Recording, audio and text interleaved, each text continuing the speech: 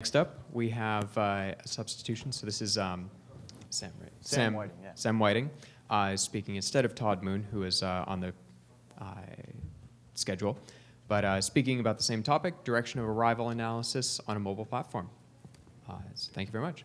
Great. Thank you. Is this, this sound good? Loud enough?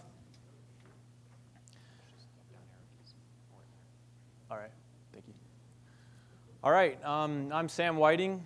I'm from Utah State University, and uh, Dan Sorensen, Todd Moon are here with me, and they worked on this, uh, this project for direction of arrival analysis or angle of arrival.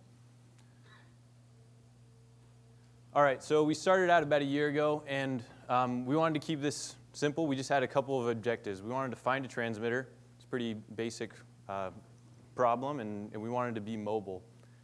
And so this is kind of a, a picture of a, a, teaser of what an Android app might look like uh, that, that does this kind of analysis. Many of you may have seen a YouTube video put up a couple years ago by Tatu Peltola. And it was really cool. He had, uh, this picture is really low resolution, sorry, but he had this array of three antennas, and then he would hook them into his uh, uh, he would sample the data with some RTL dongles, I believe, and then he would generate this field pattern kind of arrow on his laptop you see there that pointed to wherever he was transmitting from with his little ham radio. And you can just barely see the ham radio up in the, the top right corner of that picture. And it was a really cool project. We liked it, and uh, we liked how his setup worked, and so we wanted to do something similar. As we looked into some of the hardware options, uh, a lot of the people we're using these RTL dongles because they're really cheap, and a lot of the people wanted them to be coherent. They wanted them to be synchronized. And that required, in many cases, people to have the same clock, to have a, a, a single clock that was driving both of these receivers. And so with that in mind, we, we started looking at our RTL dongles we had been playing with, and we said, yeah, I think we can wire these clocks together. This is a pretty common mod that people do. And right as we were about to get started on that, we saw an article for uh, this website, coherentreceiver.com, that, that pretty much did the same thing, but far better than we could have done it. And so we said, great, let's, let's get some of those. And so the picture here is two RTL dongles, and they're just running off of a single clock. And it's a really nice setup, and so here's just a two-channel receiver based off those RTL dongles. Since we wanted to be mobile, we needed to uh, have something to process our data with, and so what better to work with than a, a smartphone? So we're running with these RTL dongles. They're sharing a clock and just a, a Motorola smartphone. So as far as methods go for angle of arrival or direction of arrival analysis, there's a lot of options and a lot of research that's already been done in these areas. Uh, one of the most common ones that I kept coming across was music, multiple signal classification. And uh, I don't know how it works exactly, but many of you may recognize the plots that come out of it. They're the really spiky looking plots that, that have an, an x-axis that represents the angles all around your uh, antenna array, and then there's peaks wherever there's energy, right? And so you have, maybe you're looking for a signal and your little plot that comes out of music has a really strong peak at whatever angle you're, you're concerned with. Um, other methods such as MVDR, MVDR is kind of similar. Uh, cross correlation, you can do cool things with cross correlation, right? If we are looking, if we have a couple of antennas and we look at uh, which antenna picks up the signal first, then you can kind of start making some statements about, oh, this, this antenna received my signal first, so our signal is coming from this direction and, and some stuff like that. So this is actually where we started. We started with cross correlation because we were just, we figured that was pretty easy to, to get our feet wet with this. And so cross correlation um, it didn't end up giving us the results we wanted, but it, it still proved to be important, so we're going to talk about it for a second. Cross correlation is pretty simple, right? It's a basically convolution, um, and we can do it really efficiently in the frequency domain. And this is easy to implement in GNU Radio, even just using the standard blocks here. The basic stream of data, if we, if we just have these RTL sources on the left, would be take an FFT of each of our streams of data, do the conjugate multiplication, and then do the inverse FFT. So many of you may have, may have thrown together a flow graph like this just for analyzing a signal or something or searching for a signal or, any of many reasons, but they're pretty easy to implement. And uh, the problem with using this for direction of arrival analysis comes from the, the resolution we're getting. So these RTL dongles are pulling in samples at about 2 megahertz. And since the speed of light happens to be kind of fast, that only gives us a resolution of about 150 meters per every sample of difference in our cross correlation. So we were sitting here in our lab and we were moving our antennas around and we were wondering why we weren't seeing any changes in the cross correlation. And then we we stopped for a minute and we sat down and we realized, oh, we're going to have to move 150 meters apart to see one sample of difference in our cross correlation. And, and our cables were definitely not that long. So we moved on from there. We, uh, we needed to use cross correlation, however, because our sample or our RTL dongles didn't start at the same time. We didn't really realize this coming into it.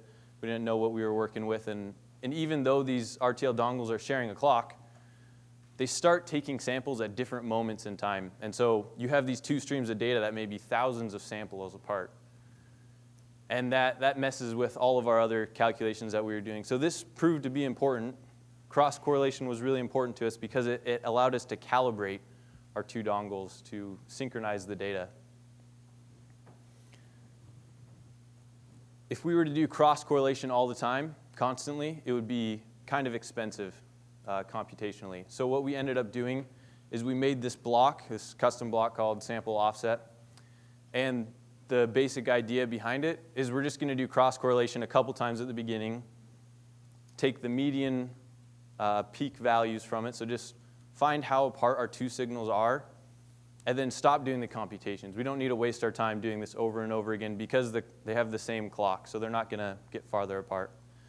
So this sample offset block takes, um, in this case, it says five iterations. So we do five cross correlations, and we get this value that says, let's say it, output the value 400. There's a peak at 400 in our cross correlation. That means our two sample streams are 400 samples apart, and so we need to delay one of our sample streams by 400 samples, and then they'll be lined up. And so you can see the two RTL sources again on the left. And if you kind of follow the lower chain, they're going to feed into this sample offset block. The sample offset block will tell the, um, will output a value that tells us how far apart these two signals are. And you can follow that dotted feedback line there to, to the delay block.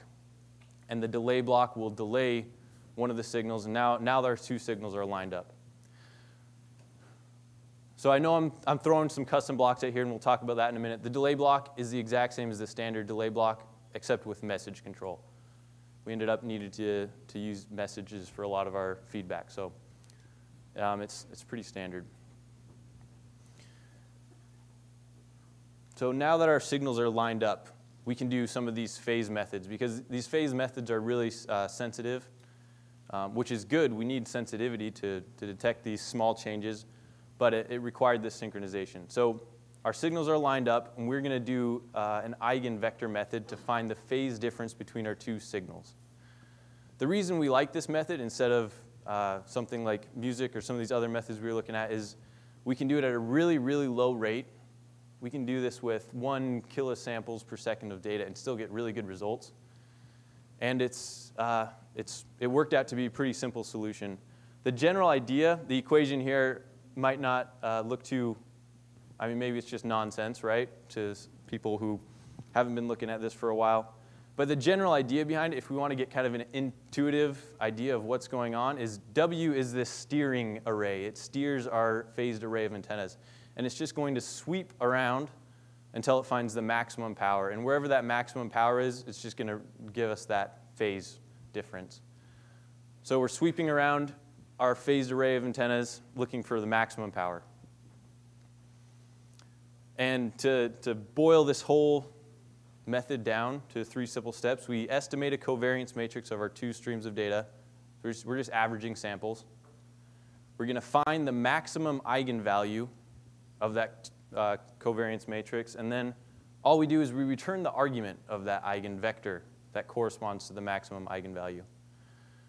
And so this, this, um, this method returns to us just an angle. Some of the other methods, common methods, make those plots like I was talking about, and you get power at every angle, or you can kind of see how a whole bunch of signals are working together to, to hit your antenna array. But this method just gives us the angle, and that's all we wanted. We needed to keep this simple if we wanted to be mobile. So when I hear eigenvector and eigenvalue, sometimes my eyes gloss over and I say, oh, this is uh, some weird math trick that uh, is unknown and unknowable. But what it turns out to be is three lines of code basically to, to solve for these eigenvectors. And I'm not expecting you guys to read it and understand what's going on in our cryptic C++ code here, but it, it basically boils down to an analytical solution for a two by two matrix to find the eigenvectors and eigenvalues. And so this is what it looks like. It's really not uh, too complicated. This is the, the block as seen in GNU Radio Companion. It's labeled PCADOA right there. Immediately before the block, there's a lot of downsampling. Because as I said, we can downsample a lot, and this, this still works great, which we were happy with.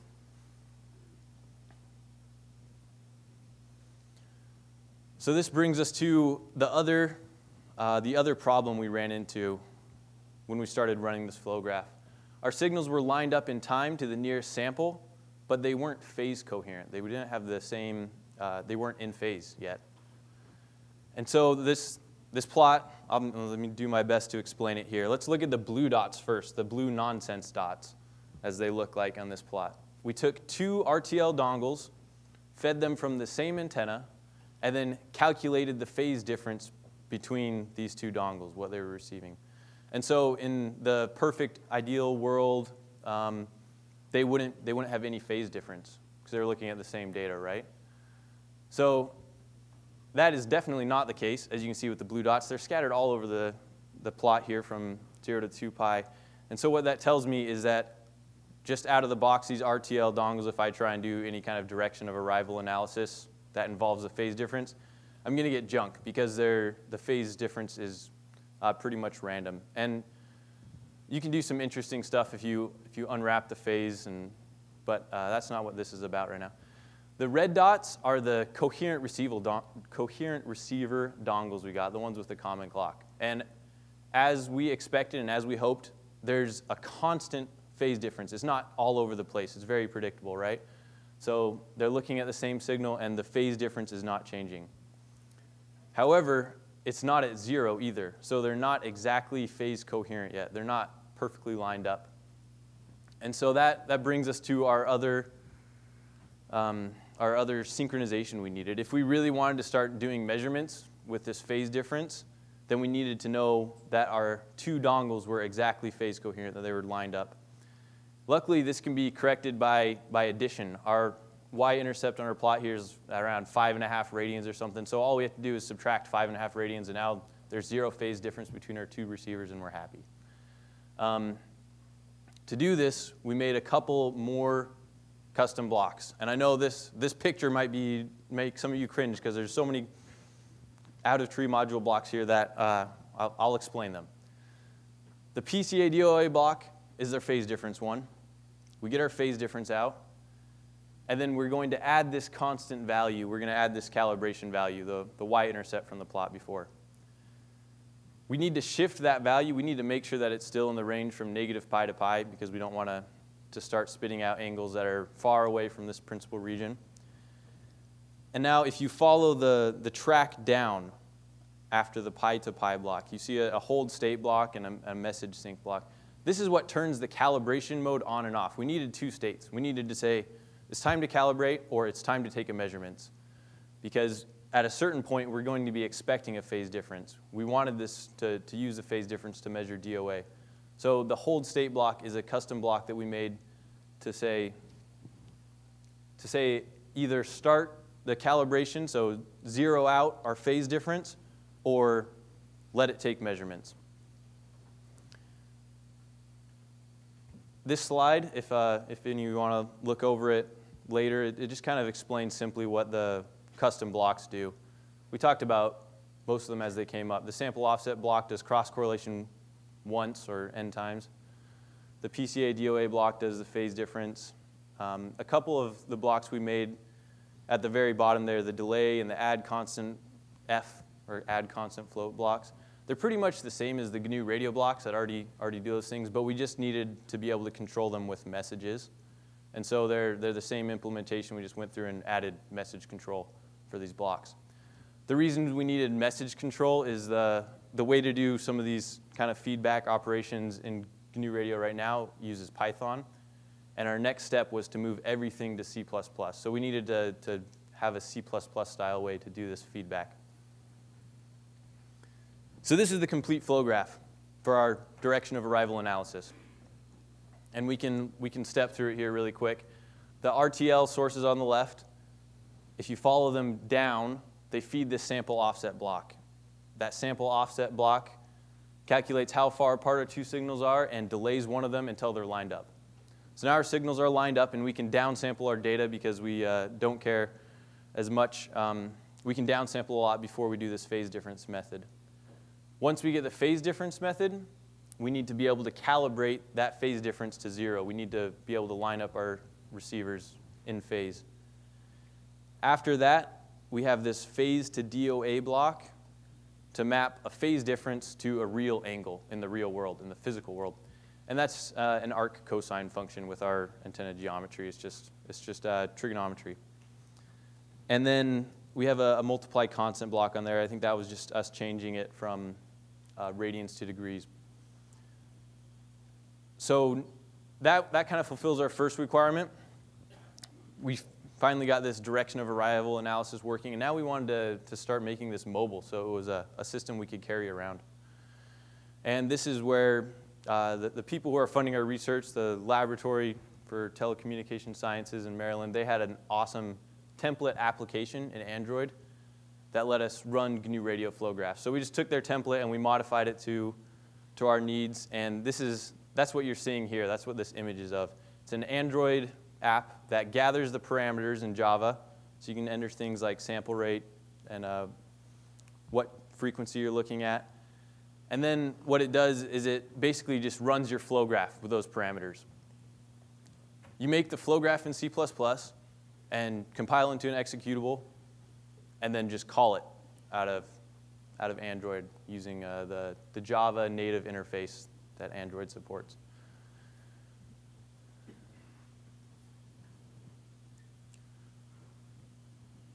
Between C++ and Java, we can communicate using UDP packets to kind of fling data back and forth.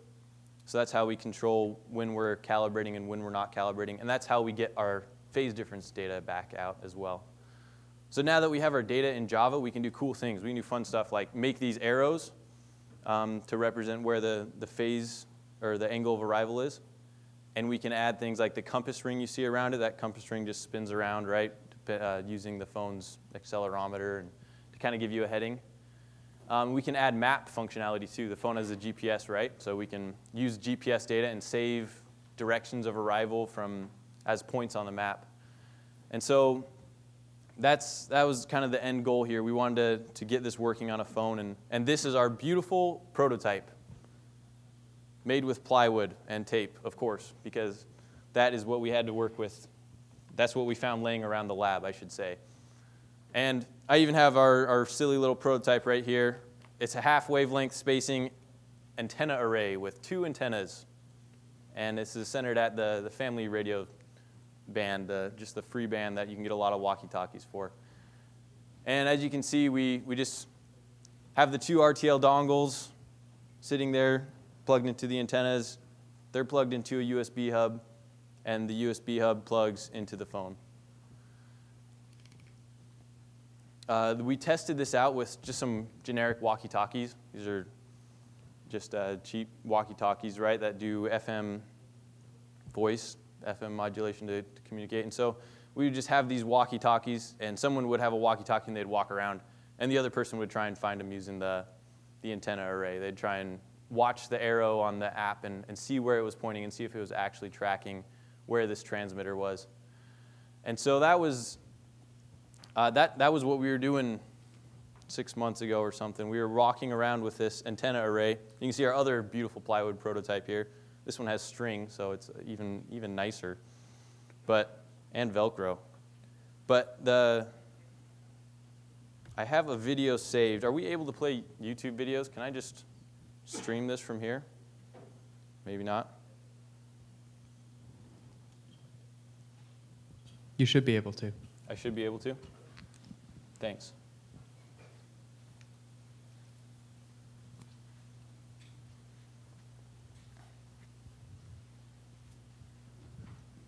Oh.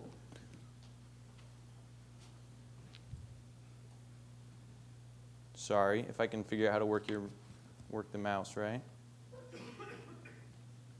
So what you're seeing right now is the phone is there's no transmitter. And right there we started transmitting. Dana, who's sitting over there and, and standing up in the video, is walking around with a walkie-talkie, and you can see the red arrow as it tracks him as he walks around.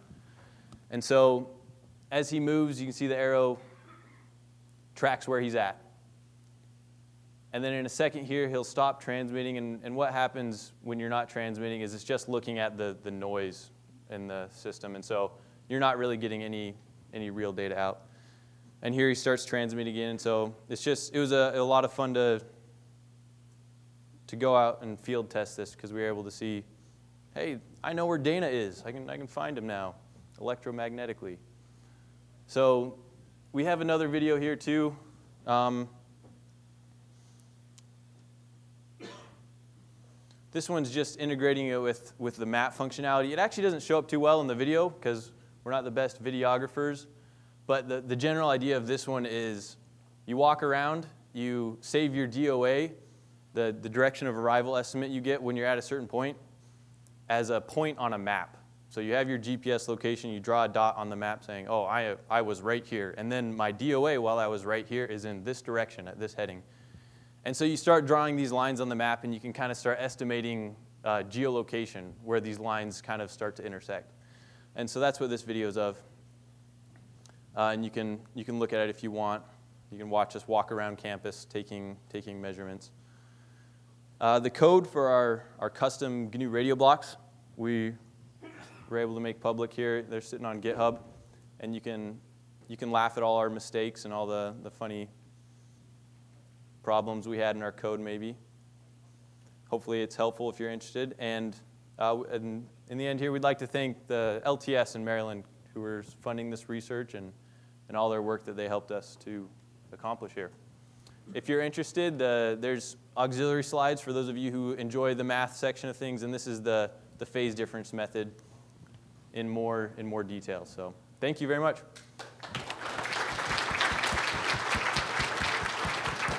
Thank you.